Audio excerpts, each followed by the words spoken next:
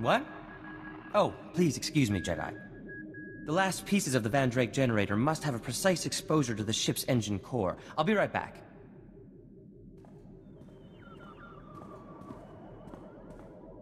Jedi, could I please talk to you for a minute?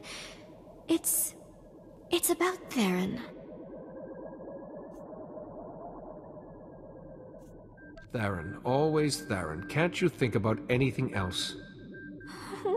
I need help, and you just want to be mean to me. Tharan's been working so hard for the symposium. It's all he talks about.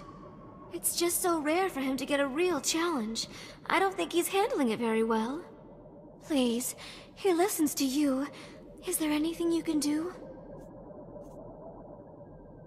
Having his genius tested will teach Tharan more than years of success. I hope that's true. You're a good friend to us, Jedi. Both me and my sweet Tharan. You are most welcome. Just in time. A moment longer and the irradiation would have gone too far. Tharan, honey, why don't you take a break? With me. Hmm? No, no, no. Too much to do. Sorry, Jedi. I'll speak to you another time.